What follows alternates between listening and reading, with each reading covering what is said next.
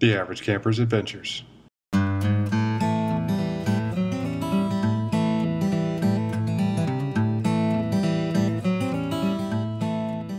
Welcome back to the Average Camper's Adventures. On this episode, we are going to install a battery tender for our house batteries. We are not in the motorhome um, all the time, so there is a period of time which we're storing the motorhome, especially during the winter months when it's uh, not as easy to get out in Florida to go camping because of how busy it gets. So what we're going to do is install a battery tender for the four house batteries. It's a solar power um, battery tender, gives about 10 watts, and what it's going to do is keep those batteries topped off while Willow is in storage. Let me show you what we got. Okay, like I said, this is a um, 10 watt battery tender that hooks up directly to the um, to the battery bank via uh, alligator clips. All of our batteries are right um, underneath the step we have Willow facing north and south, and so um, we're going to try to decide whether to put the solar panel on um, the east side uh, of the uh, RV or just in the front window to capture as much as we can throughout the whole day.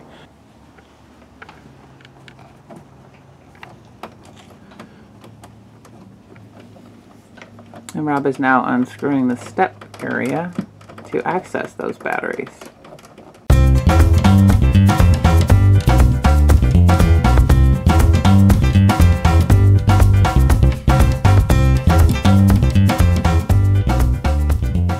we already have a uh, solar connection hooked up so I may I may be able to use the existing wire that we have which is here which runs to our solar controller here we had done that quite a long time ago North Carolina yeah in North Carolina because we were at a campground that didn't have hookups and our neighbors didn't like the generator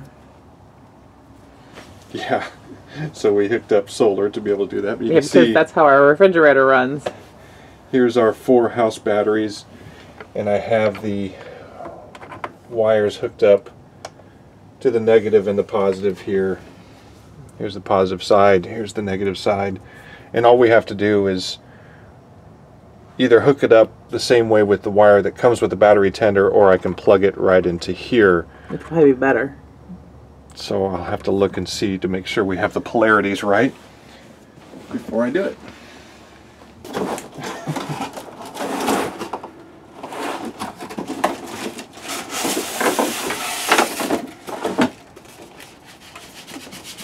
Panel itself is not too huge.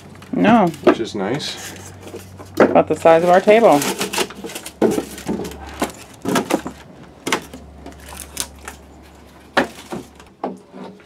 Alright, so that's the solar panel.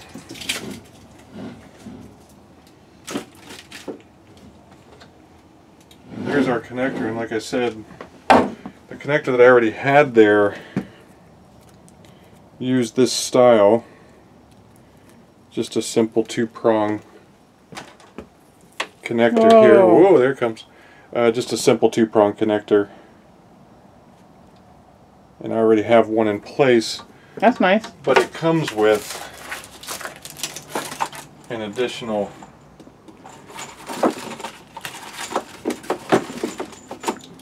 comes with an additional alligator clip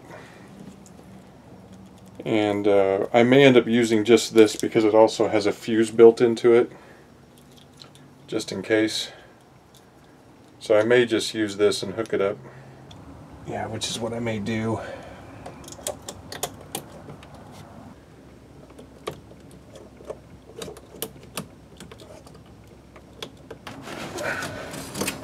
That thing's heavy. It, this, the, the, uh, that is heavy.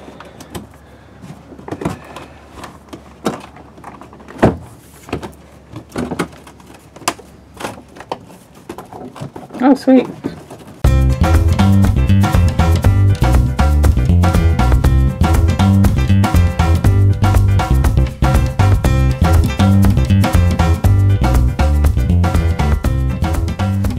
But we can use that solar panel for something else later, right? Absolutely. Or like if we're off hiking and we take Willow somewhere. Absolutely. Or we take, you know, we leave we leave Willow. So because the screen is here, it'll filter out that light that we're needing versus the glass pane, which will allow it to charge the solar. Yeah. Yeah, you want it with as little restriction as possible. And the screen will kind of reduce the solar energy of the sun getting to the solar panel. So Okie dokie. I need to get an extension. Oh, look at those fancy things. Are they for solar? Yeah, it, it's um, it's the right gauge, but I was just looking to make enough of these that'll give us an extension. Is that safe? Yes. It's not like having 50 extension cords, Clark No. Clark Griswold. No, so I think this will give us enough extension. Of course, I'd love for this to be just one piece, and I think I have one somewhere, just can't find it. Do you lose power by having connector to connector to connector? No. No.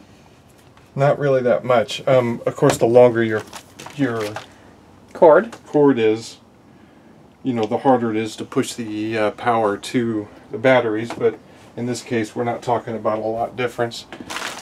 At least not for what we're needing them for. And then I have these, which I thought maybe will do the trick. Why no? These are little suction cup guys Oh. that might keep it up in the window. So I have to put these suction cups just above it and and connect it. What do you think you have there? Something that may or may not work. But this is a little bungee. Remember, Oh, cute. the- It's like from a backpack. yeah, so I'm gonna try to undo it like this. And then I'm gonna try to hook it around like that.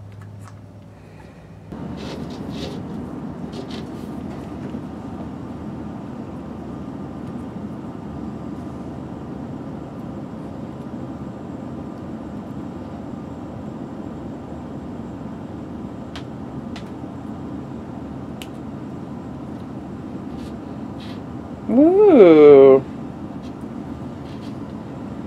And now you can probably just tie it and tie it around the other thing. Yeah. Who's brilliant? You are. Brilliant.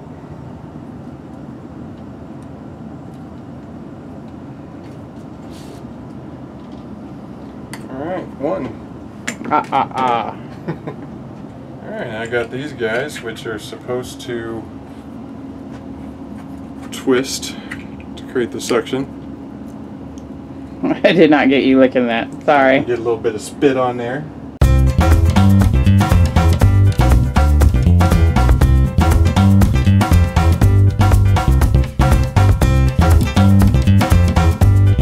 Okay, so uh, just temporary, but we have a way to mount it here.